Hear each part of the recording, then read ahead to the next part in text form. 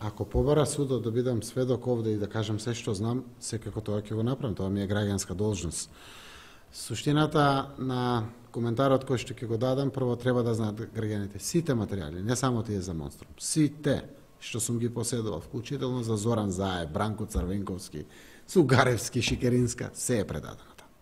Се надевам дека и моите и на било кој приватни материјали нема да излезат и до сега не се случило. Се сме предали таму.